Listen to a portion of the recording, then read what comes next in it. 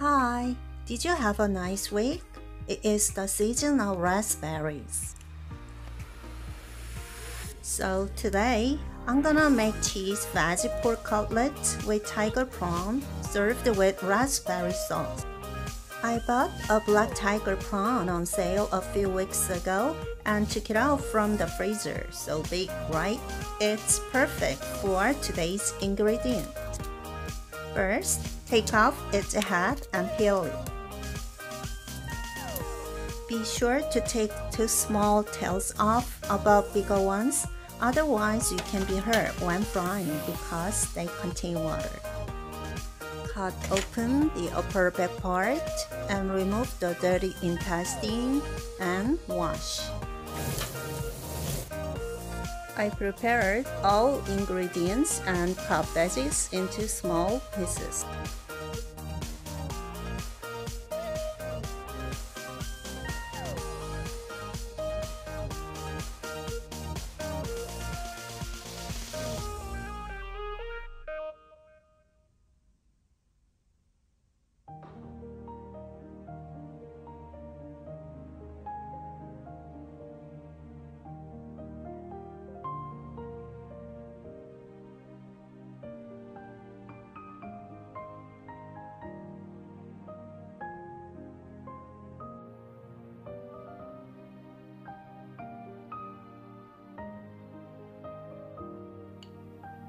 First, let me make tartar sauce.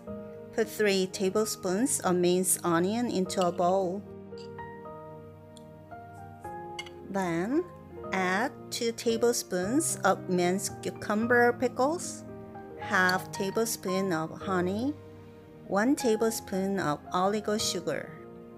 Add 1 tablespoon of lemon liquid together with half tablespoon of minced lemon peel and black pepper. Add 6 tablespoons of mayonnaise and mix. Taste is bland, so add a little salt, then it's done. Now put raspberries in a strainer and crush them with a fork.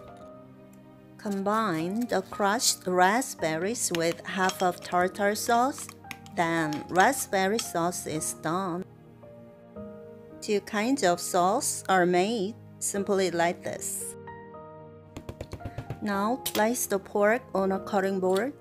Oh, pork is so thick that I had to work hard like this to make it thinner. When it is done, season it with salt, black pepper, and cooking wine. But the cuts of this process were skipped. Now place 6 pieces of perilla leaves on the pork and place 4 pieces of mozzarella cheese on them and another piece down.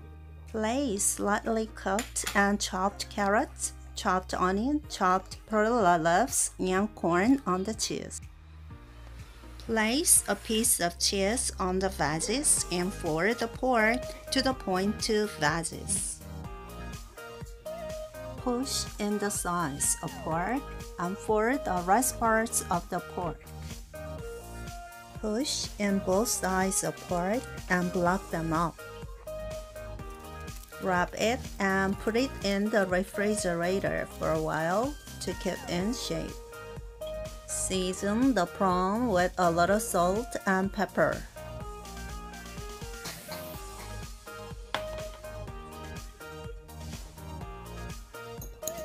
Beat two eggs with a little salt.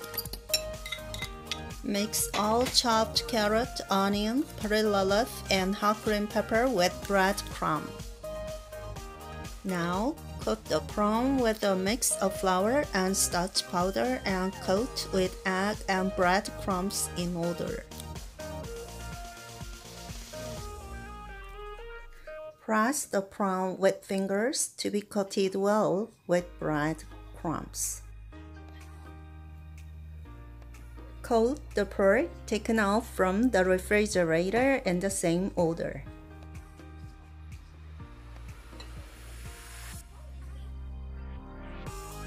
Press it down to be coated well with bread crumbs.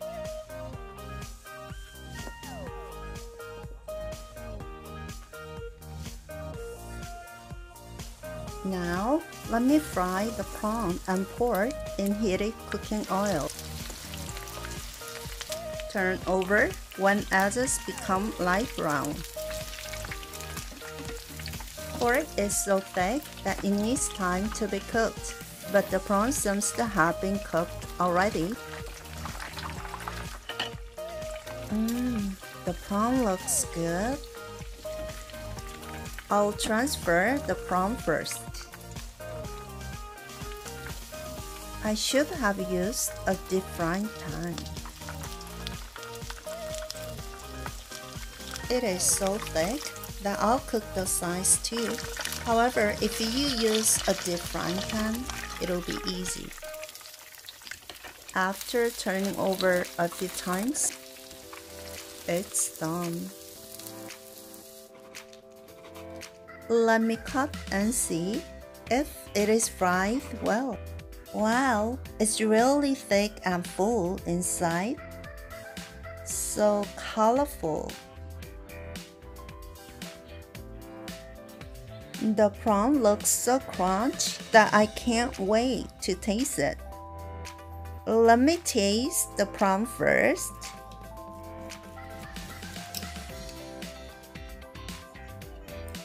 It is firm and feels like a lobster and see veggies on outside. It was fried really crispy. Put some raspberry sauce. Wow, tastes like a lobster, really.